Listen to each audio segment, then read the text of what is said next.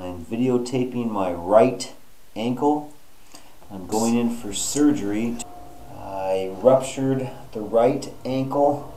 The peroneus longus and brevis tendons are going to be repaired, and I ruptured the superior peroneal retinaculum. Um, right now, this is three weeks after the initial. So I'm going to have the tendons here that come down get repaired. I can literally grab them and move them around the malleolus. So I ruptured those. They're going to need to be stitched up and repaired, and the superior peroneal retinaculum that kind of holds them in place slightly posterior to the malleolus. Uh, I'm going to have to have that repaired.